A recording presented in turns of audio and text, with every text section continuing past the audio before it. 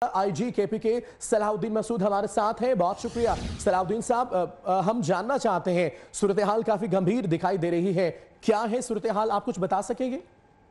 ہاں، تین اشخاص اندر داخل ہوئے تھے ایگریکلچر انسٹیٹیوٹ میں۔ ہماری فورسز پولیس کی فورسز اور آرمی کی ٹروپس انسٹیٹیوٹ کے اندر اپنا آپریشن کر رہی ہیں۔ کاروائی جاری ہے۔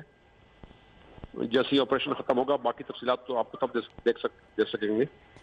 ٹھیک ہے صلاح الدین صاحب۔ یہ ہے کہ آج چھٹی کا دن تھا اور یہ تین دن کی چھٹیاں تھی تو اکثر بچے جو تھے گھروں گئے ہوئے تھے ہاسٹل میں تعداد بہت کم تھی۔ اچھا صلاح الدین صاحب یہ بھی بتائیے گا کہ کیا کوئی کنفرم اطلاعات ہیں کہ کتنے دہشت گرد یونیورسٹی کے اندر داخل ہوئے اور حملہ کیا کیا سرسری جو ہماری معلومات ہیں اس کے مطابق تو تین تھے لیکن ہم ہمیشہ زیادہ کا خدشہ ذہن میں رکھتے ہیں کاروائی کرتے ہوئے۔ لیکن آپریشن ختم ہونے کے بعد ہی حتمی بات ہو سکے گی۔ ٹھیک ہے صلاح الدین صاحب تعلیمی اداروں پر حملے ہونے کے باوجود سیکیورٹی جو ہے وہ ایمرجنسی نافذ کی گئی تھی۔ باوجود اس کے یہ صورتحال سامنے آئی اس پر کچھ کہیں گے آپ؟ تمام سیکیورٹی اداروں کو چیک بھی کیا جاتا ہے سیکیورٹی ہدایت بھی دی جاتی ہیں۔ کہیں پر ان کی اپنی نفری ہوتی ہے کہیں پر ہماری نفری ہوتی ہے۔ ریگولرلی ان کو جہاں جہاں کوئی کمی بیشی ہوتی ہے ایف آئی آر دیتے ہیں۔ تھانے اور سرکل کے جو افسر ہوتے ہیں وہ ان کو چیک کرتے ہیں۔ لیکن فی الحال ہم یہ آپریشن سے فارغ ہو کے تین چیزوں کو دیکھیں گے۔ عام طور پہ ہماری سیکورٹی الحمدللہ بہتر ہوتی ہے۔ ٹھیک ہے۔ صلاح الدین صاحب یہ بھی بتائیے گا کہ یہ تین دہشت گرد جو بتائے جا رہے ہیں یہ کس طرح سے یونیورسٹی کے اندر داخل ہو گئے؟ کیا روپ ان کی جانب سے دھارا گیا تھا کہ یہ باسانی یونیورسٹی کے اندر داخل ہو گئے اور اب تک فائرنگ کا سلسلہ بھی جاری ہے؟ حتمی طور تو طور پر تو نہیں کہا جا سکتا فی الحال لیکن یہ تھا کہ ایک رکشے میں تین اشخاص آئے تھے برکوں میں۔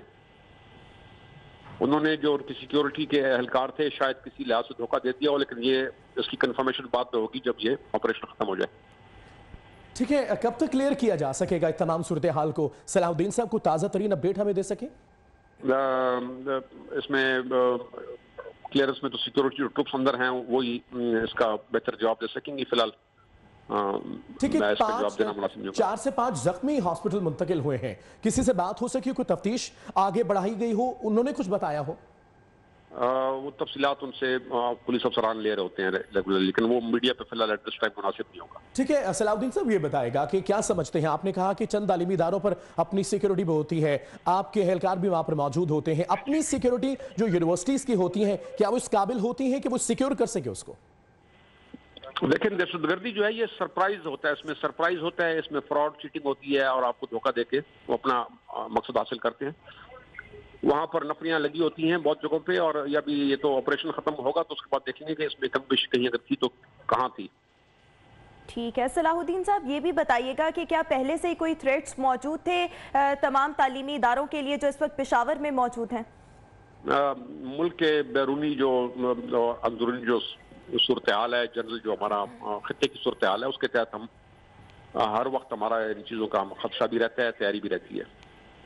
ٹھیک ہے سیاد صاحب یہ بتائے گا کہ اس وقت وہاں کی سیکیورٹی اہلکاروں کی کیا صورتحال ہے؟ پولیس تعینات ہے فوجی دستے بھی منگوائے گئے ہیں یہ بھی اطلاعات ہیں اور آپ نے بھی بتایا؟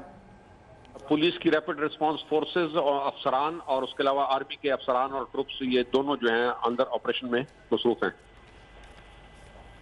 ٹھیک ہے بہت شکریہ صلاح الدین صاحب ہمارے ساتھ ہیں۔